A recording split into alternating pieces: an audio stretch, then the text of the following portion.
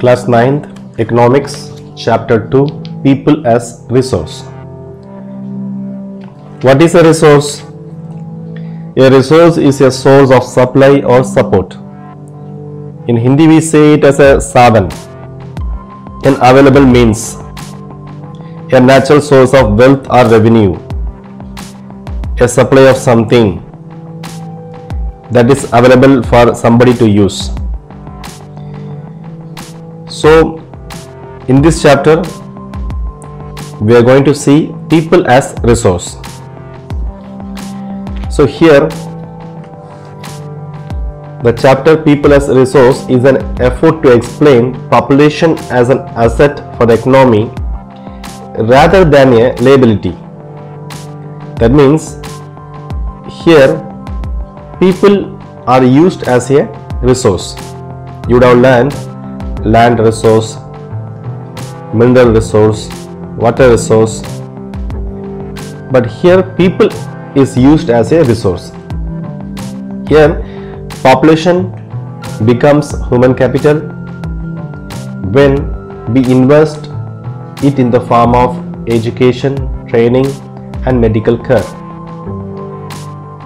People as resource is a way of referring to a country's working people in terms of the existing productive skills and abilities. We know that human can do any work. Using human, we can form a resource. So that resource that is related to a population that we called it as a human resource. This is a positive side of a large population. But when we look at the negative side, the problems of providing the population with food, education, and access to health facilities. So this comes the negative side. But in positive side, we call it as a human resource. But in negative side, when we consider about the problems of providing the population with food, education, access to health facilities, that is a negative side. So when existing human resource is further developed by becoming more educated and healthy, we call it human capital formation that adds to the productive power of the country just like physical capital formation. So like other resources, population is also a resource. So we know that land resource by land uh, agriculture is going on, industry is going on, factories are going on. So you can use the people as a resource. So when you see as the positive side, so population can also used as a human resource. But we look only at the negative side considering the problem of the uh, education, how to give the health facilities. So we have to see the only the positive side. If we see the positive side, it gives a productive power of the country just like a physical capital formation. So investment in human capital through education, training, medical, it also yields a return just like investment directly in the form of higher incomes and because of higher productivity of the more educated, the better trained persons as well as the higher productivity of healthier people. So if we invest in the human capital, how we should invest? Through education, through training, through medical care. So if we invest in this way, we'll get higher incomes, higher productivity because of giving more education, because of giving more training. So if we are giving more education, more training, the healthier people will give us higher incomes. So in this diagram, the girl is asking what is human resource? Is it like land or labor? The boy is saying no, it is more than that. Here the girl is again asking what is human capital? Is it like rupee, paisa or dollar? No, it is more than that. So let we see clearly here is a doctor, here is a teacher, here is a plumber, here is a tailor. So these are the asset to the economy. Not only do the more educated and the healthier people gain through higher incomes, society also gains in some, some other indirect ways. Because the advantages of more educated or healthier population spreads to those also who themselves were not directly educated or given health care. So we understand in this paragraph that through the educated persons, the non-educated persons can also be benefited in indirectly way. So human capital is the one way superior to other resources like land and physical capital. By human resources, we can also make use of land and capital. Land and capital cannot become useful on its own. We know that land and capital cannot become useful on its own. We need the human support. For many decades in India, a large population has been considered as a liability rather than an asset. But a large population need not to be a liability. It can be turned into a productive asset by investment in human capital. So from many decades, we think that human has some responsibility. Human has some work to do.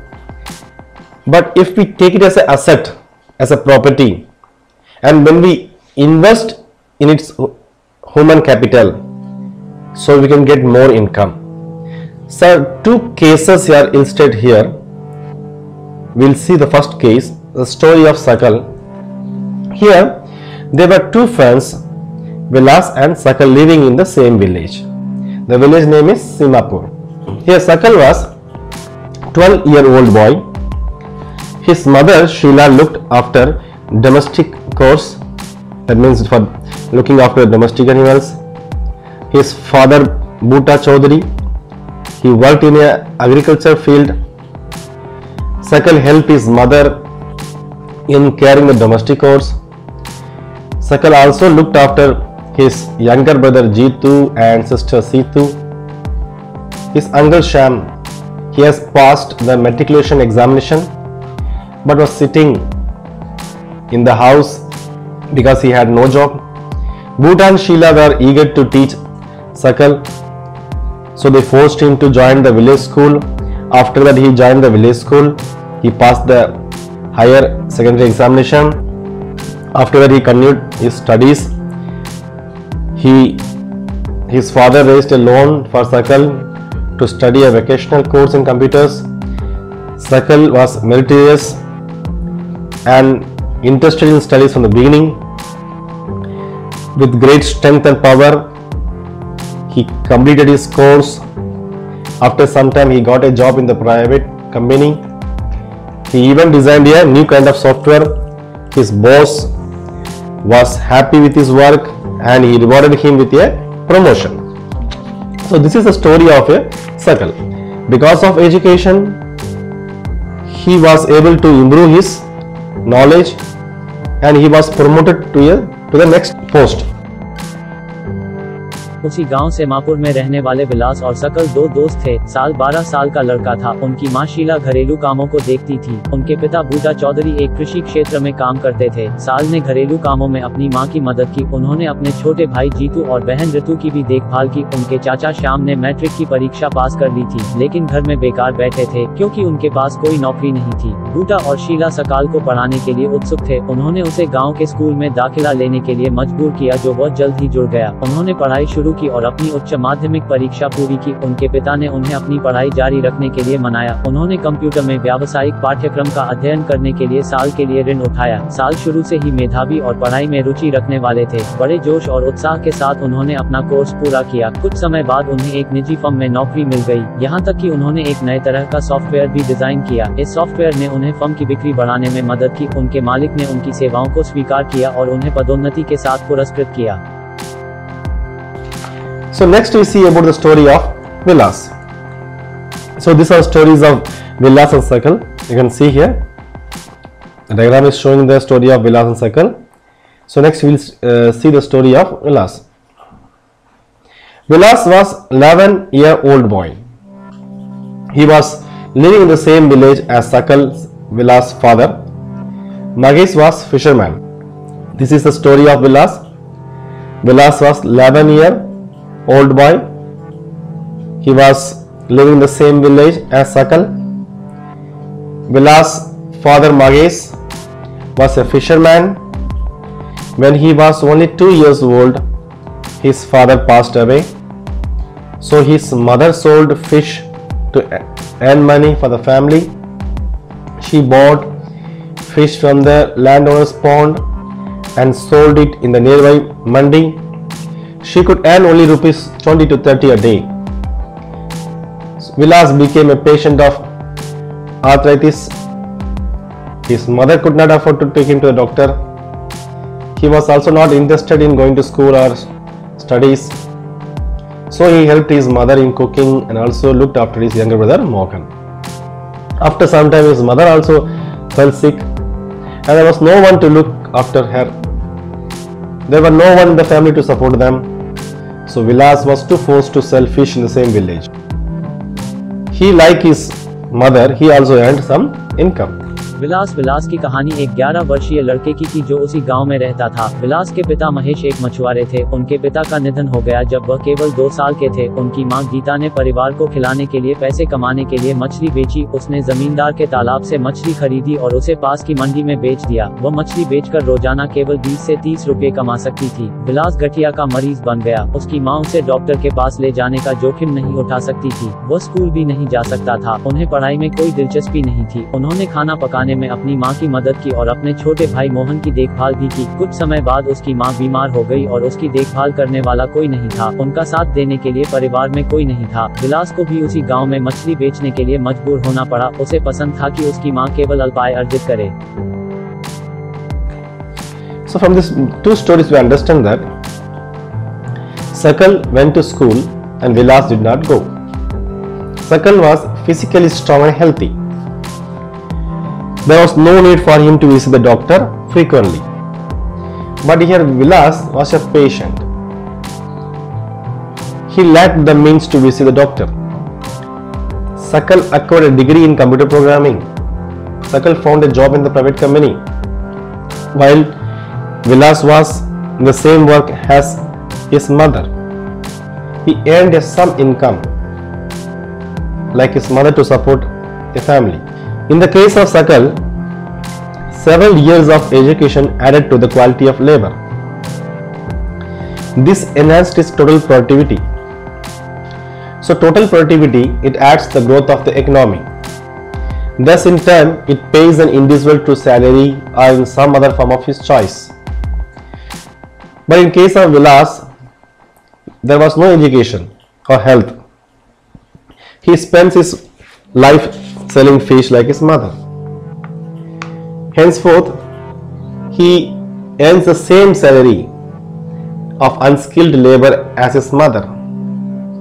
So from this both story we can understand that investment in human resource via education and medical care can give a high rates of return in future. This investment on people is the same as investment in land and capital. So from this uh, we can understand that the investment of people is same as investment in land and capital. A child too with investment made on our education health can yield a higher return in the future in the form of higher earnings and great contribution into society. A child when we invest on his or her education and health, he she can yield a high return in the future in the form of higher earnings and great contribution to society. Parents they invest more heavily on the education of the child. This is because they have realized the importance of education for themselves. They also take care on proper nutrition and hygiene. They look after children's needs of education at school and good health. But, but in next side when we see some disadvantaged parents who themselves are uneducated and lacking in hygiene keep their keep their children in the similarly disadvantaged state. Countries like Japan have invested in human resource they did not have any natural resource. These countries are developed rich countries because they import the natural resource needed in their country. So how did they become rich? Because they have invested on people. Because they invested especially in the field of education health. The people of Japan have made efficient use of other resources like land and capital. So this country has become a rich and developed country. Now let me see the economic activities by men and women. Like Vilas and Sakal, people have been engaged in various activities. Vilas sold fish, Sakal got a job in the frame. So these various activities are divided into three main sectors. One is primary, one is secondary, and another one is tertiary. The primary sector includes the agriculture, forestry, animal husbandry, fishing, poultry farming, mining, etc. And this all manufacturing comes in the secondary sector. The trade, transport, communication, banking, education, health, etc. This comes in the tertiary sector. These activities in this sector results in the production of goods and services. This add value to the national income. So these three sectors join together to add value to the national income. So this we called is called as economic activities. So economic activities are divided into two parts. One is market activities and another one is non-market activities. Based on the picture, can you classify these activities into three sectors? This is primary, right? And this is secondary and this is tertiary. Due to historical and cultural reasons, there is a division of labor between men and women in the family.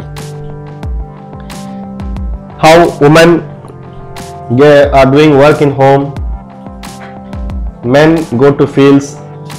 You can see that Sakal Mother Sheila cooks food, cleans vessels, washes clothes, cleans the house, and looked up and looks after her children.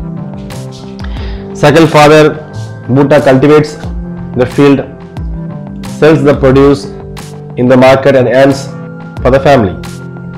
You can, you can see here Sakal's mother Sheila cooks food, cleans utensils, washes clothes and looks after her children. But Sakal father Bhuta Chaudhary cultivates the field, sells the produce in the market and earns money for the family. Sheila is not paid for the services delivered for upbringing of the family. You can see here, Sheila is not paid for the services delivered for her family. Sheila cooks food, washes the uh, vessels, washes clothes, cleans the house, but she is not paid any salary.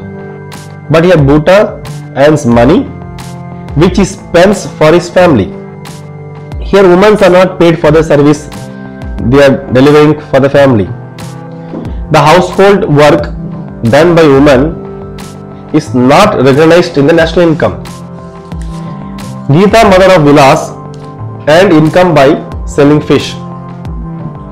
So thus we can see in this both condition that women are paid for their work when they enter the labor market. Here, Sakal's mother is working in the home, she has not paid any salary. But in the Vilas mother, when she went to the labor market, she has paid some salary. Their earning, like that of their male counterpart, is determined on the basis of education skill. So the earning depends on the education and their knowledge. So if education is there, they can get lot of opportunities so education and skill are the major determinants of the earning of any individual in the market. So majority of women have some education and low skill formation. So women are paid low compared to men. Employment in this sector is characterized by irregular and low income. So, however, we see women with higher education and skill formation are paid as equal to men. Among the organized sector, women are attracted in teaching line and medicine line.